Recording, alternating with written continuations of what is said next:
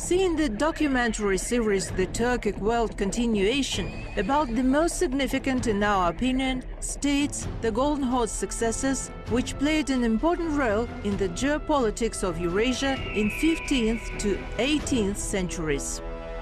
We move towards ourselves, recognizing ourselves in others.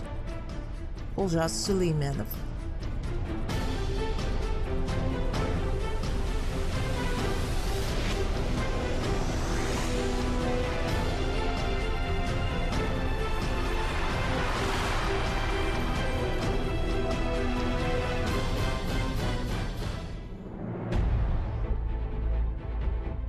The founder of Uzbek's power was Shayban Prince Abulkair. Representatives of the three peoples, about whom Ruzbek Khan wrote, nominated him as the candidate for the Khan's throne. Let's remind Ruzbek Khan's quotation, which was already cited in one of our episodes.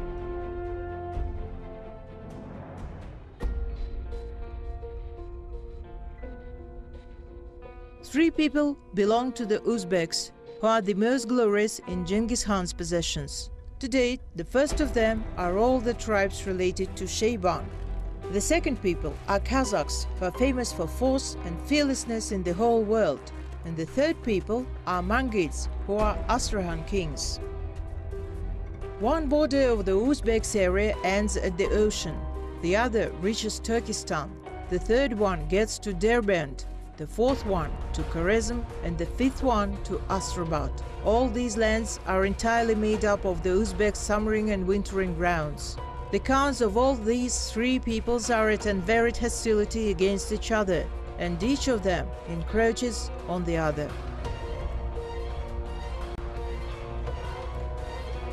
Ruzbek Khan the Book of Bucharest. Intention of tribe leaders to stand under the banners of young and talented Prince Abulkair was caused by a desire to create a powerful, mobile state of nomadic tribes.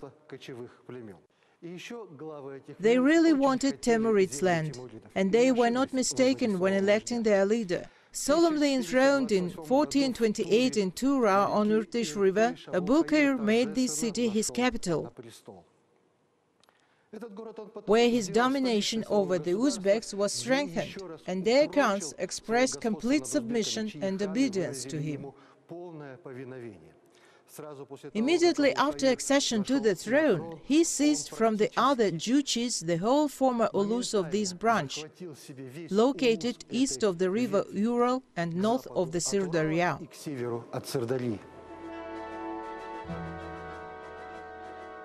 With the help of the above-mentioned tribes, Abulkair began a war against Dashti Kipchak Khan Muhammad Hoxha, who according to a historian of that time was one of the eminent sovereigns of his time, was known from Shahrukh's history and was on friendly terms with him. Nevertheless, Muhammad Hoxha was defeated on the Tobol banks, captured by Abulkair and by his command put to death. Having joined Muhammad Hoxha's possession to his Ulus, Abulkair Khan returned to Tura. Similarly, in a very short time, between 1423 and 1431, Abulkair Khan managed to bring together almost the whole Shayban's Ulus and to exercise his authority over it.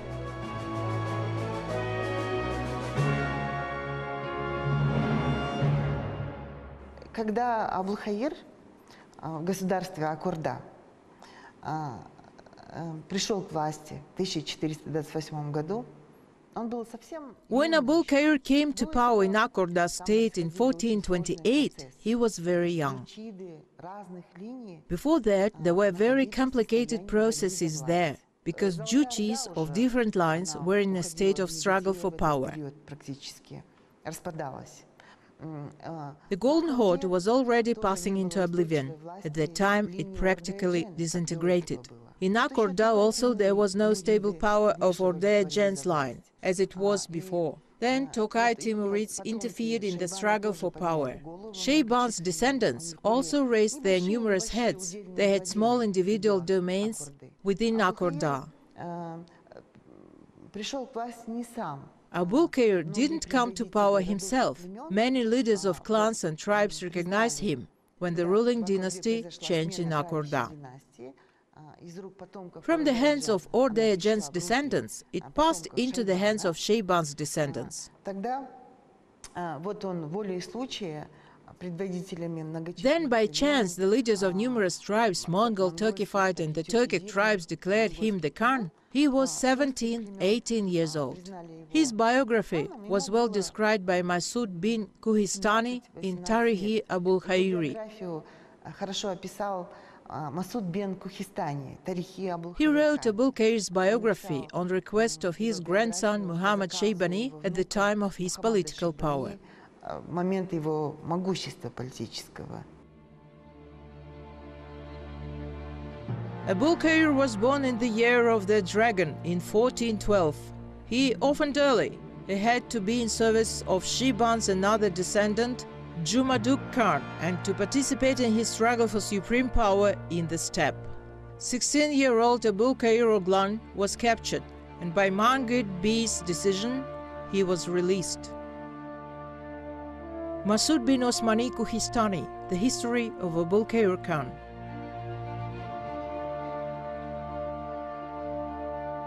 In 1431, Abul Khair Khan undertook a great campaign against Khwarezm. The people of Khwarezm capital Urgench, seeing that they could not defend the city and not wishing to suffer horrors of carnage of the nomads, decided to show submission to the Uzbeks. The peaceful delegation sent by citizens to Abul Khair was well treated by him and Khan had mercy upon the city and its inhabitants.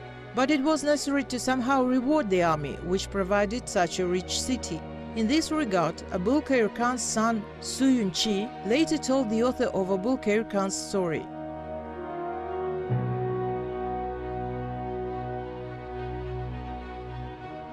My father, after conquering Khwarezm, ordered to open the treasury that the former rulers had collected with such difficulty and care, and ordered two his emirs, among the great ones, to sit down at the doors of the treasury, and all commanders, people of the Khan's retinue, and ordinary soldiers would enter it by two, taking the amount they could easily take and going out.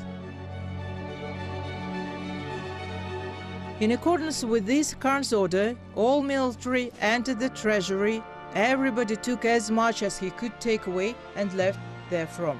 As a result, on Khan's mercy, the army enriched itself with gold and precious stones.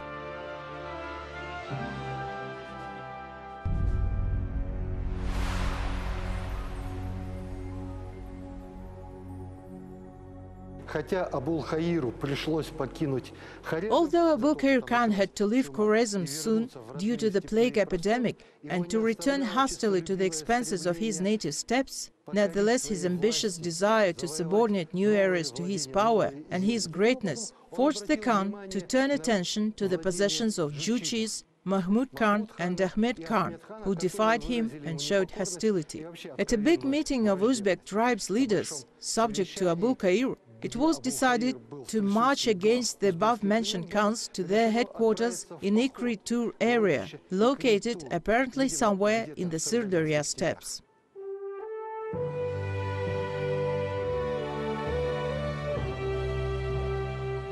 Almost all the emirs with their tribes who were mentioned at the beginning of Abul Khair's rules took part in this campaign.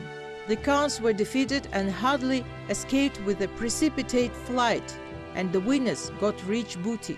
The victory afforded Abul Khair the opportunity to seize the capital of Dashti Kipchak nomads, Ordu Bazar, where Batu Khan's headquarters was located at one time. Here, after saying a prayer to the glory of Abul and stamping coins with his name,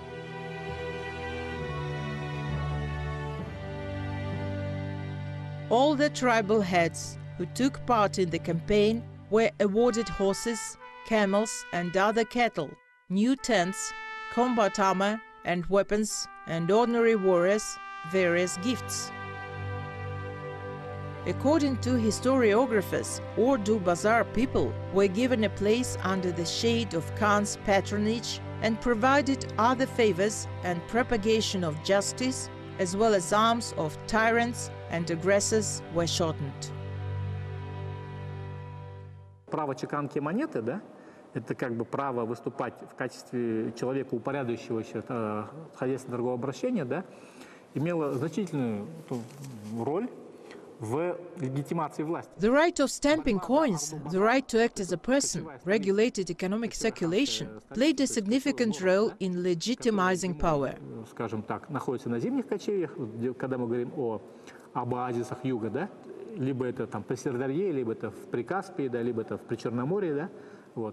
There was a struggle for Orda Bazaar, the nomadic Khanate capital, that is, nomadic city, which in winter was a wintering ground. We talk about the southern bases in the Sirdarya region, near the Caspian Sea or the Black Sea region.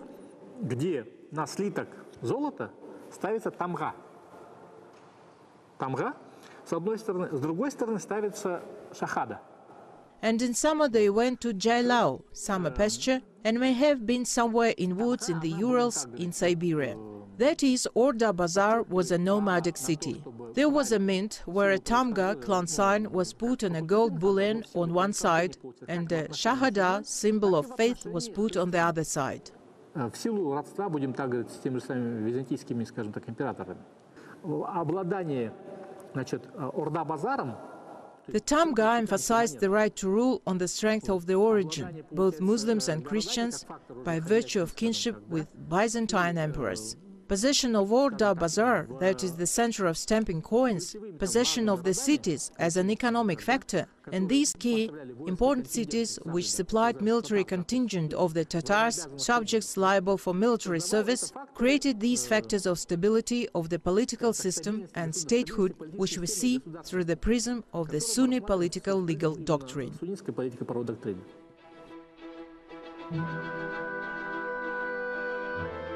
While Mangir Demir, Yedegey's son Mansur, took active and apparently constant participation in Barak Khan's activities, Yedegey's grandson, Vakas B, played an important role in Abu Kair's prominence. Young Khan at first was in great friendship with Nur ad-Din's son, Vakas B. Masud bin Osmani Kuhistani, The History of Abu Kair Khan.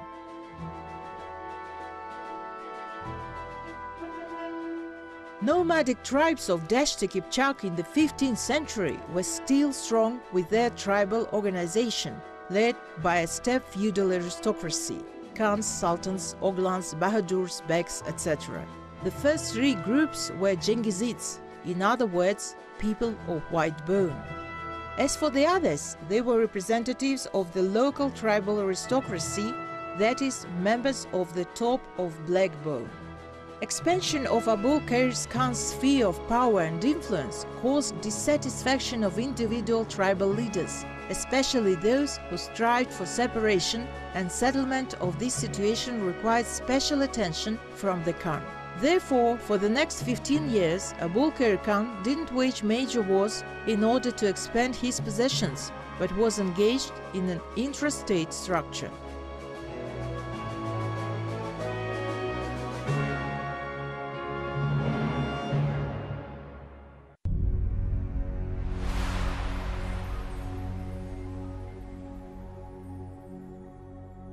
And now I'll tell you an episode typical for that time. Relations of former friends. Let me remind you that Vokas, Yedegey's grandson, did much to support young Abul Kair. And then this Mangits leader Vokas having united with Steppe Khan Mustafa, rebelled against Abul Kair with his tribe. But Abu Qair Khan, supported by the tribal leaders, defeated the rebels in battle on the banks of Ad-Basar, put them to flight.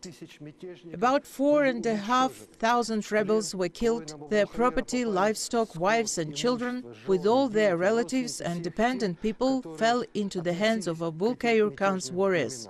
All this was calculated and divided between emirs, leaders and ordinary battle participants, depending on the situation of each of them.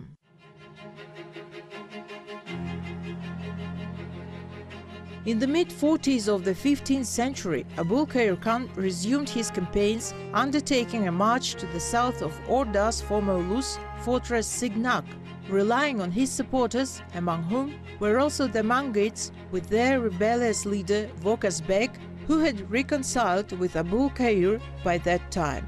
Signak surrendered to the Uzbeks leader voluntarily, followed by seizing Sirdarya fortresses such as Akurgan, Arkuk, Suzak. All of them were handed out to the management of loyal people. Thus, Abul Khair took away from Timurids fortified cities on the Sirdarya from Signak to Uzgend. According to Barthold, Signak was declared the capital by the Khan.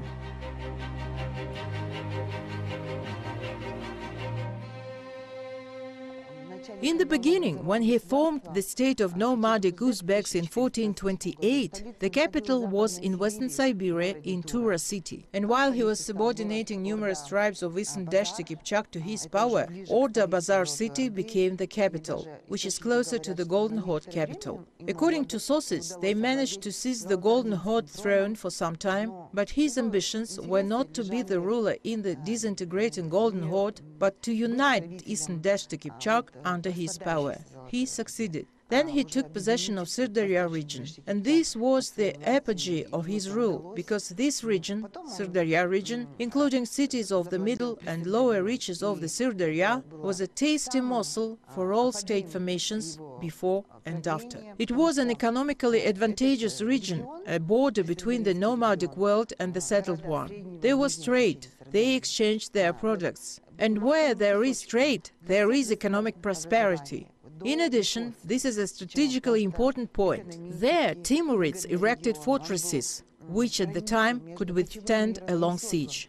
At that time, it was difficult to draw a border, and these were ready-made borders, well-fortified city fortresses. Moreover, there were good summer pastures in this region, because on the Sirdarya banks there were very thick reed underbrushes, and there were ready winter pastures where cattle could hide from the winter weather. He seized Signak and made it his capital. Everything was good in the state of nomadic Uzbeks until they were attacked by the Kalmyks.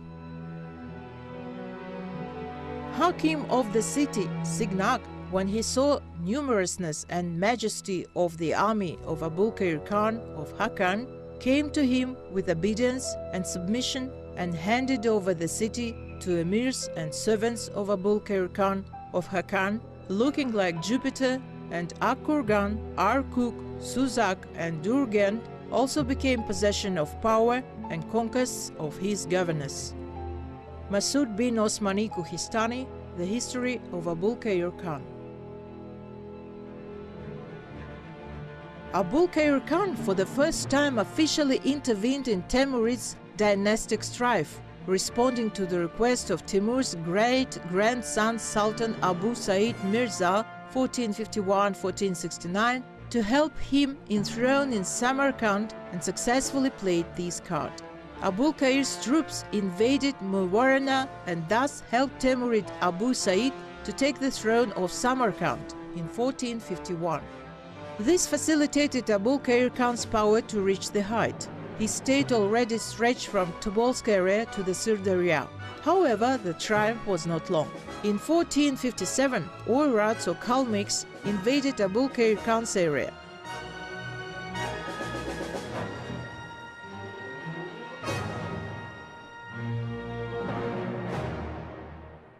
На улусы Абулхаирхана калмыки двинулись от реки Чу.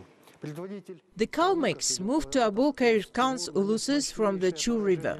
Kalmyks Khan Oz Timur inflicted a heavy defeat on Abulkair Khan's army near Kok Kesene and completely plundered the entire northern shore of the Sirdarya. Abulkair Khan took shelter inside the walls of Signak, where he was forced to conclude peace with the Kalmyks on the terms of the victors. The Kalmyks army left beyond the Chu, and Abulkair Khan for a long time had to get in order his lands, badly damaged by this war. It should be noted that the feudal nobility supported the Khan only if he conducted an active foreign policy and victorious wars, otherwise it often left him. The defeat of Abul Khan's army significantly imploded his reputation. It was the clash of the Uzbeks with the Kalmyks in 1457 that was one of the serious reasons that led to the fall of the Uzbek Khanate of nomadic tribes.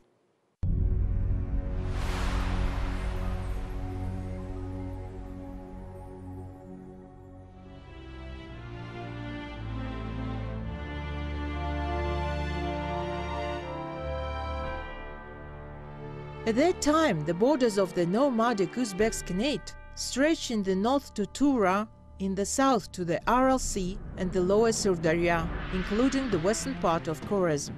Its eastern border passed in Sauran, and in the west it bordered the Yaik River. In a word, this state included the most part of present-day Kazakhstan, western Siberia and southwestern Khorazm. On the middle reaches of the Sirdarya, there were such large cities as Yassi, Turkestan, Otrar, Signak, Sauran, Arkuk, Akkurgan, etc., which up until the 17th century remained the centers of trade between nomadic and settled people of Deshti Kipchak and Mavorana.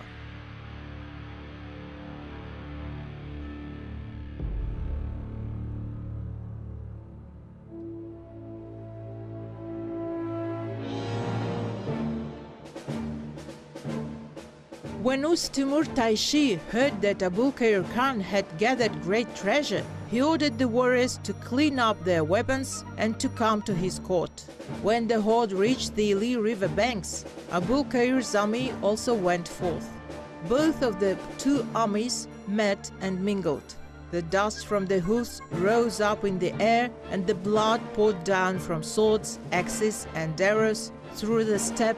But then the wind of victory blew from the Kalmaks. Abulkair Khan was forced to retreat and to take shelter inside the walls of Signak.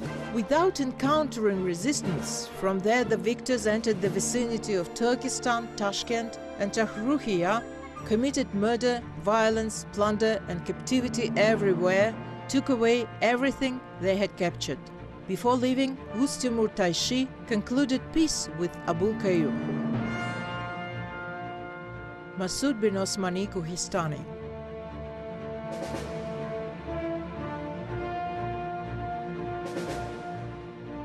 The troops of nomadic Uzbeks basically retained the system and the principle that were under Genghis Khan. First of all, it was a tribal militia collected from all possessions, and under Khans and tribal leaders there were always only a few hundred nukers, bodyguards. The latter were not only warriors, but they also performed various works in the yurts of their masters. During campaigns, Uzbeks gave serious attention to reconnaissance, and Uzbek Khans widely practiced espionage.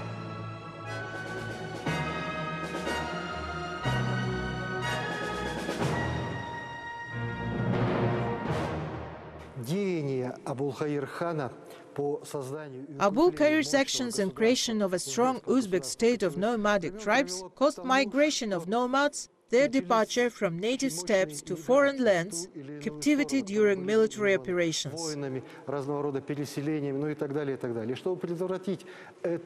In this regard, it is interesting the desire to prevent anarchy in using even vast pastures for centuries has established the custom of movement by societies of only one clan, admitting to their kishlaks only relatives through female lineage from other clans or the poor who became employed as workers. And that's why even the ways of nomadic movements were determined for each tribe, and each tribe had its own certain places for winter camps, summer and autumn migration.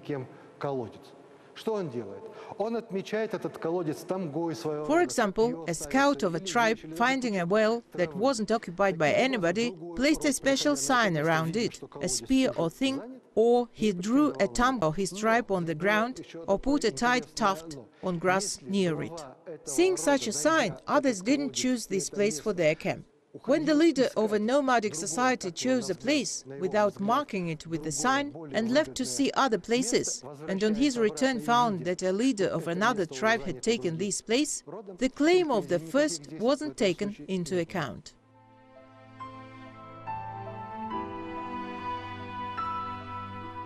The bottom line is that Abul Kair failed to reconcile the nomads' hereditary principles with the semi nomadic empire system centered in Signak. The beginning of the split from Abu Khair was laid by his two vassals, who came from the house of Juchi, Kirei, and Janibek. They left him and asked for allotments from Chagatai Khan Yesen Bukar II, who allotted them lands on the borders of Mogulistan.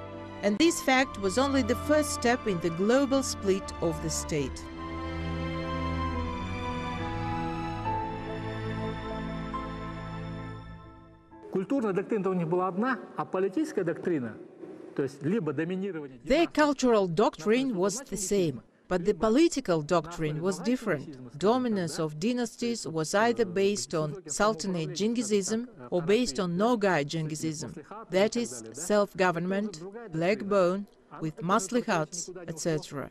This was another doctrine. The contradiction didn't go anywhere. There was a maslikat in the Nogai horde when under Yesim Khan the Nogais entered the Kazakh Khanate as the junior zhuz after the Nogai horde was defeated. They didn't remove their traditions anywhere. They just renegotiated, and the Nogais guys entered as the junior zhuz.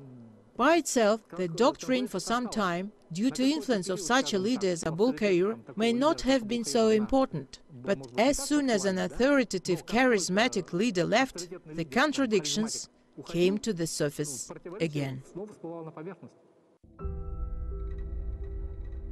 After Abul Kair Khan's death, in Uzbek such turmoil arose that the steppe inhabitant, for his safety and well-being, sought refuge at Karay Khan and Janibek Khan so that the latter strengthened.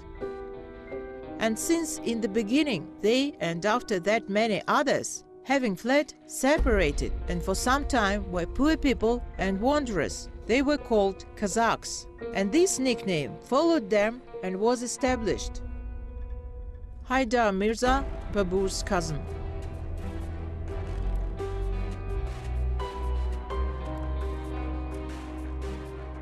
In 1465-1466, a lot of nomadic clans, subjects of Abul Hayy Khan, joined Kirey and Janibek, that is, they became essentially independent. Since then, these nomads separated from the Uzbek Khanate began to be called Kazakhs, adventurers, rebels. Their separation was a great historical event if we take into account the vast territory that they occupied and which was later settled by their descendants.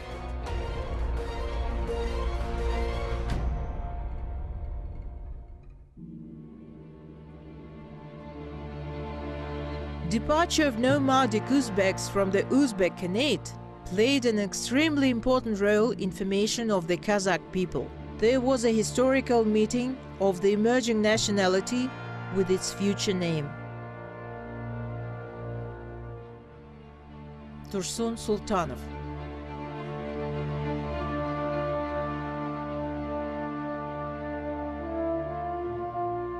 Looking ahead, it should be noted that after conquest of Timurid state by Shaybanids in the early 16th century, and after migration of about 300,000 Uzbeks to Movorana, there was, according to Yedege Marsanov and other scientists, a transfer of the ethnonym Uzbek from eastern Dashti Kipchak to Central Asia.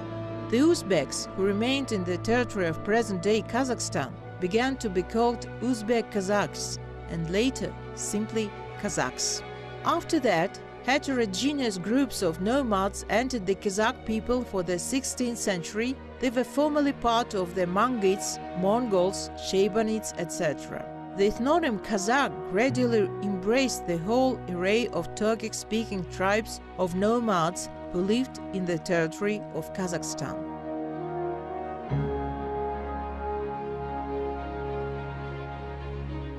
Ханство Абул-Хаир хана не было временным объединением кочевников. а было Abul Khair настоящим Khan's Khanate wasn't a temporary union of nomads. The presence of government officials, divans, tax system, and stamping coins with the name of the Khan, who was the head of state, all these statehood attributes testify that it was not a temporary nomadic union, but a patriarchal feudal state, although not centralized. личным царством патриархально-феодального типа.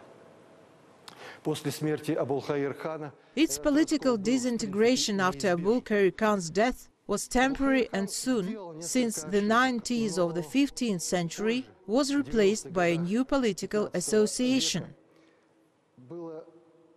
from which arose the Uzbek state led by Muhammad Shaybani Khan and the Kazakh state with Burundik Khan. Where Abulkair Khan failed, his descendants succeeded.